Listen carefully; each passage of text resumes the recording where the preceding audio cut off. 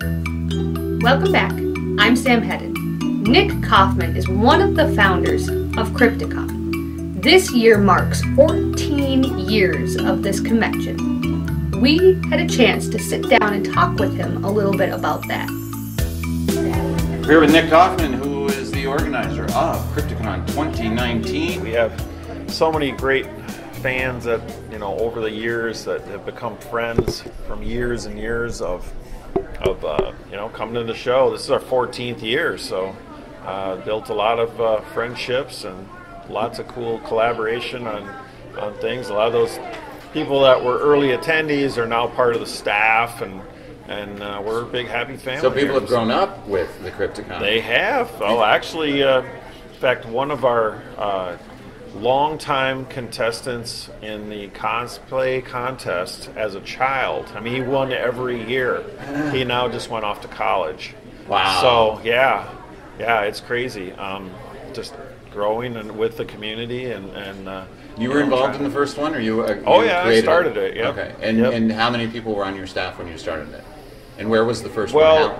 uh, well, the first one was held uh, out in Medina, Medina, Minnesota. Yes, out at the. Medina Ballroom. Yes, that's the one. Okay. Yeah, yeah. Me and and uh, I got to bring up my partner Chaz DeMoss, who uh, we uh, we started it together.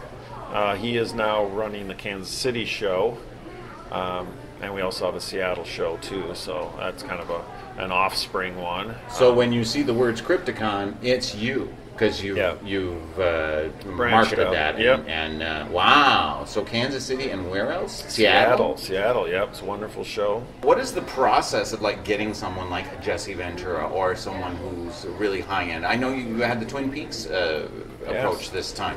Yep. Did you approach them? Did they approach you? How does that all work out? Well, there are appearance managers that are out there that you, you know, when you're doing this, been doing this for a while, you get to know a lot of people, and and uh, yeah, you uh, talk to them. They have lineups of uh, people that uh, are, you know, celebrities, and you kind of, it's kind of like shopping. You know, you Uh-huh. say, this is what I'd like to have this year, and you. You know, I'll take the three people from Twin Peaks, but Exactly. the guy, the Battlestar Galactica can wait another year. and, Exactly. yeah.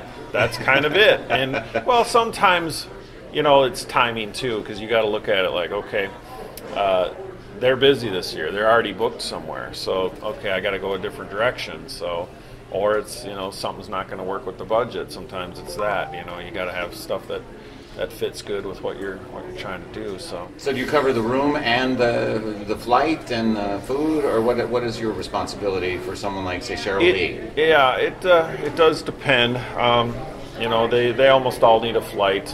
Uh, sometimes car service. But pretty Um, reasonable. I mean, somebody's not going to say, "I want ten thousand dollars just to show up and sign stuff for now."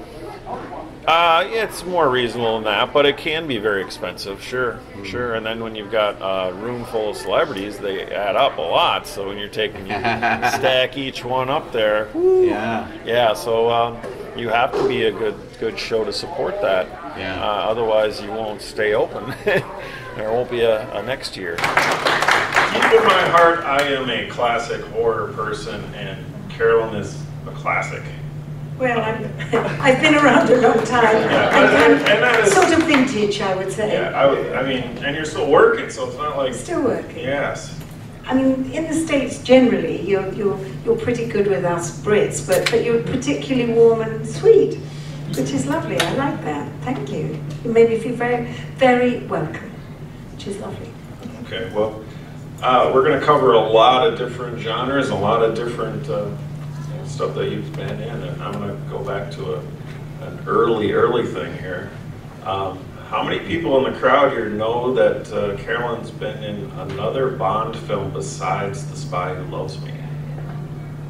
You do? Of course you do. We got a few. And this was, you, none of you were even twinkles when this was. I mean, I was barely a twinkle. I was a, I was a 16 year old twinkle, but that's a long time ago.